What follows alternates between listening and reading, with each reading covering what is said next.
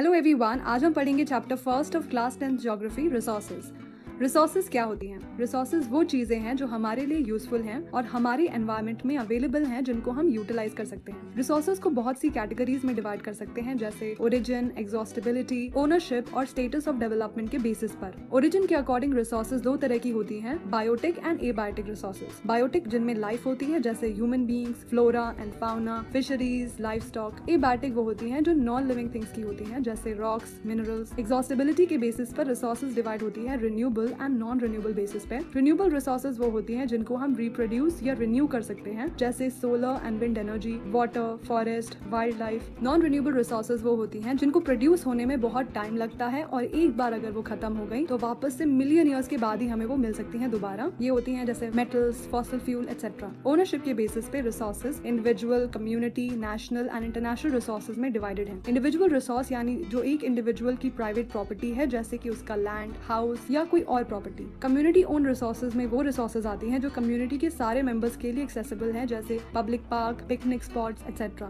national resources में country में जितनी रिसोर्सेज हैं, वो सारी आती हैं। इसमें इंडिविजुअल और कम्युनिटी रिसोर्सेज भी आती हैं प्लस कंट्री के अंदर जितना भी minerals water forest wild life और लैंड है। इनफैक्ट ओशन का कुछ एरिया भी कंट्री की नेचुरल रिसोर्स में आता है। कंट्री के कोस्ट से 12 नॉटिकल माइल्स यानी 22.2 किलोमीटर तक का एरिया को टेरिटोरियल वाटर कहते हैं, और ये भी कंट्री के नेचुरल रिसोर्स का पार्ट है। इंटरनेशनल रिसोर्सेज वो होती हैं जिनको इंटरनेशनल इंस्टीट्यूशन रेगुलेट करते हैं। ओशियन की रिसोर्सेज जो एक्सक्लूसिव इकोनॉमिक जोन के 200 नॉटिकल माइल्स यानी 370.4 किलोमीटर के बाहर आती हैं, वो सारी इंटरनेशनल रिसोर्सेज हैं और कोई भी कंट्री उन रिसोर्सेज का यूज़ नहीं कर सकती अनलेस अनटिल इंटरनेशनल ऑर्गेनाइजेशन ने उनको अलाउ किया हो। स्टेटस ऑफ़ डेवलपमेंट के बेसिस पर रिसोर्सेज पोटेंशियल और डेवलपमेंट डिवाइडेड है। पोटेंशियल रिसोर्सेज वो होती है जिनके बारे में हमें आइडिया है बट अभी हम उसको अच्छे से यूटिलाइज नहीं कर पा रहे हैं। जैसे हमें पता है कि गुजरात और राजस्थान में सोलर और विंड एनर्जी का यूज़ करने का बहुत पोटेंशियल है but we are not using it develop resources वो होती है जिनके बारे में हमें पूरा आइडिया है about the quantity quality but develop resources के भी डेवलपमेंट के लिए हमें टेक्नोलॉजी की ज़रूरत है. सो so, स्टॉक्स और रिज़र्व में क्या डिफरेंस है? स्टॉक्स वो चीज़ें हैं एनवायरमेंट में जिनमें पोटेंशियल है हमारी नीड सेटिस्फाई करने का बट हमारे पास टेक्नोलॉजी नहीं है उसके यूज़ करने के लिए. जैसे वाटर जो की हाइड्रोजन और ऑक्सीजन से बना हुआ है इसमें जो हाइड्रोजन है ये एनर्जी का एक रिच सोर्स हो सकता है बट हमारे पास अभी टेक्नोलॉजी नहीं है इसको यूटिलाइज करने की. और रिज़र्व वो रिसोर्सेज हैं जिनको की हम यूटिलाइज कर सकते हैं विद अवेलेबल टेक्नोलॉजी बट उसका यूज़ हमने स्टार्ट नहीं किया है। ये फ्यूचर रिक्वायरमेंट्स को फुलफिल करने के लिए यूज़ की जा सकती है। तो रिसोर्सेज हमारे लिए बहुत इंपॉर्टेंट है। इनफैक्ट ऐसा मानते थे लोग की ये रिसोर्सेज तो हमेशा के लिए है, जिसकी वजह से ह्यूमन बींग्स ने इन रिसोर्सेज का यूज़ बड़ी ही लापरवाही के साथ किया है, जिसकी वजह से अनेकों प्रॉब्लम हुई है। जैसे कुछ लोगों की ग्रीड बढ़ने लगी। रिसोर्सेज कुछ लोगों के हाथ आ गई, जिसकी वजह से बाकी लोगों के पास कुछ नहीं रहा। और रिसोर्सेज का लापरवाही से यूज़ करने की वजह से इकोलॉजिकल क्राइसिस होने लगे, जैसे global warming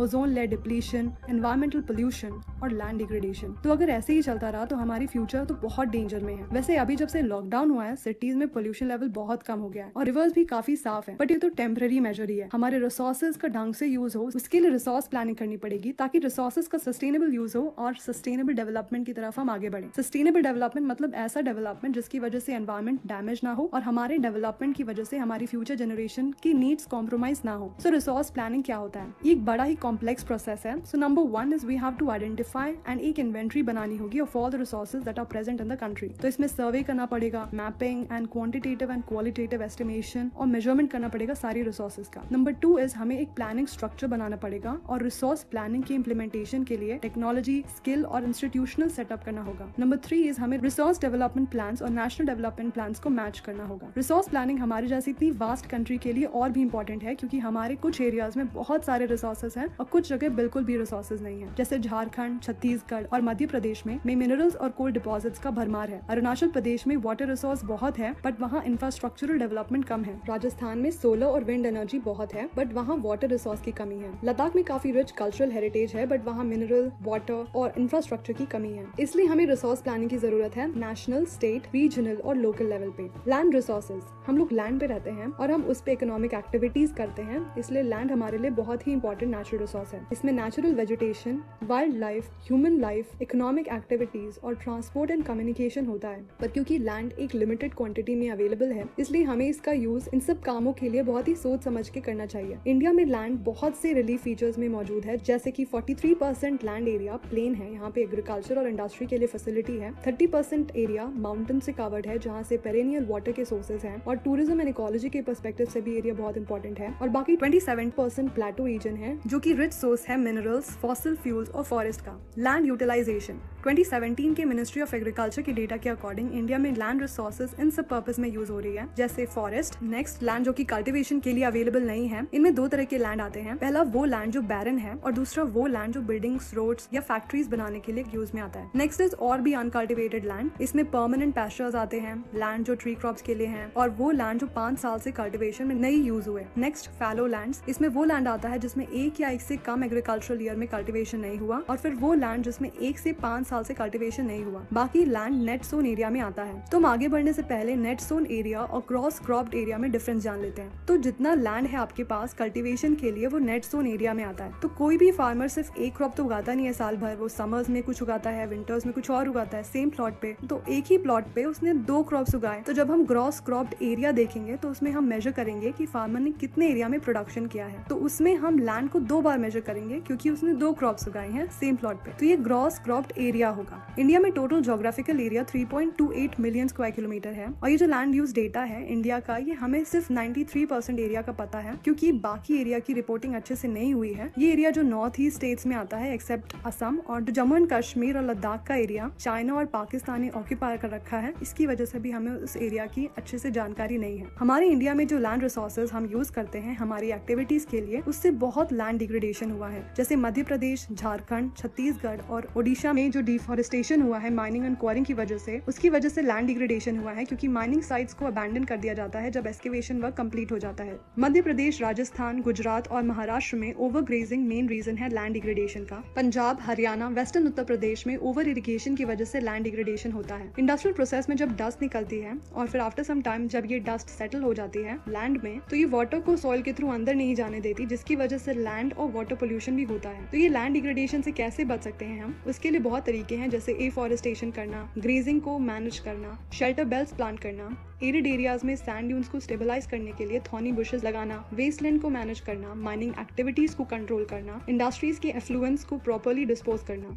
Soil as a resource. Soil सबसे ज़्यादा इंपॉर्टेंट रिन्यूएबल रिसोर्स है। मिलियन ऑफ़ ईयर्स लगते हैं तब जाके कुछ सेंटीमीटर डेप्थ का सॉइल बनता है। और ये सॉइल बनने के लिए बहुत कुछ इंपॉर्टेंट फैक्टर्स है, जैसे रिलीफ यानी जगह की लोकेशन कैसी है, उस पर डिपेंड करेगा कैसा सॉइल होगा। पेरेंट रॉक या बेड रॉक कैसी है क्लाइमेट कैसा है, उस एरिया का, बारिश टेम्परेचर ये सब। वेजिटेशन या अदर फॉर्म्स ऑफ़ लाइफ है या नहीं एंड टाइम पे भी डिपेंड करता है सॉइल फॉर्मेशन तो हमारे भारत में भी अलग अलग तरह के सॉइल हैं, जैसे एलोवियल सॉइल ये सबसे ज़्यादा एरिया में फैला हुआ है और बहुत ही इंपॉर्टेंट सॉइल है. एंटायर नॉर्दर्न प्लेन इसी सॉइल से बनी हुई है, जिनको बनाया है हिमालय से आती हुई तीन विशाल नदियों ने इंडस गंगा और ब्रह्मपुत्र ये सॉइल राजस्थान और गुजरात के एरिया में भी है और ईस्टर्न कोस्टल प्लेन्स में भी यहाँ पे इसलिए है, क्योंकि यहाँ पे रिवर्स अपना डेल्टा बनाती हैं, जैसे महानदी, गोदावरी, कृष्णा और कावेरी. एलुवियल सॉइल में सैंड सिल्ट और क्ले वेरियस प्रोपोर्शन में मिलता है और जैसे जैसे हम रिवर वैली से इनलैंड जाएँगे, हम देखते हैं कि सॉइल पार्टिकल्स का जो साइज़ है, वो बड़ा होता रहता है। साइज़ के अलावा एज के अकॉर्डिंग भी सॉइल को बांट सकते हैं। जो ओल्ड एलिवियल सॉइल है, उसे बांगर कहते हैं और न्यू एलिवियल सॉइल को खादर। एलिवियल सॉइल बहुत ही फर्टाइल सॉइल होता है। इसमें सही मात्रा में पोटैश फॉस्फोरिक एसिड और लाइम होता है, जो शुगर केन पैडी वीट और बाकी सीरियल्स और पल्सेस की क्रॉप्स के लिए अच्छा है। Black soil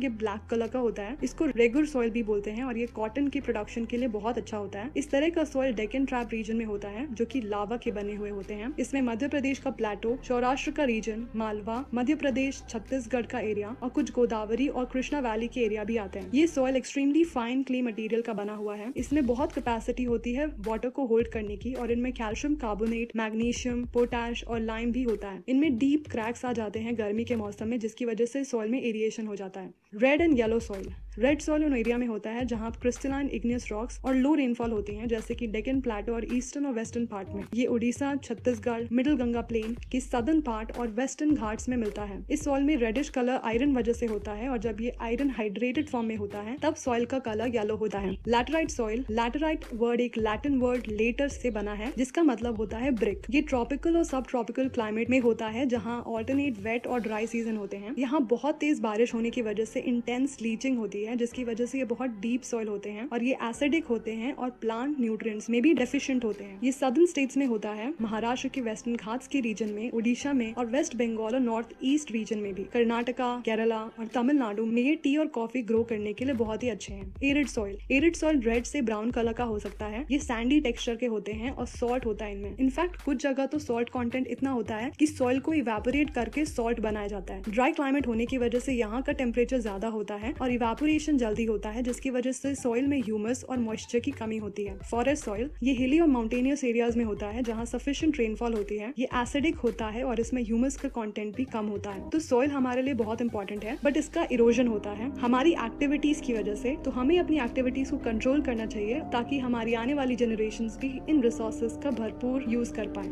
So it is the end of the video thank you so much for watching it and take care bye